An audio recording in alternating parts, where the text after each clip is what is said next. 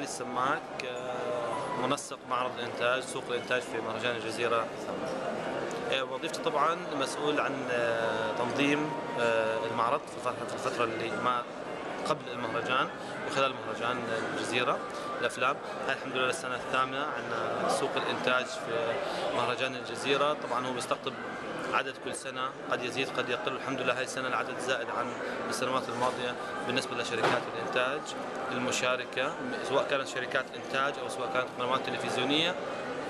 المميز هذه السنة هو إضافة آه، فئة جديدة من آه، العارضين وهي الشركات المتخصصة في منتجات التلفزيون بصفة عامة وليس الإنتاج فقط.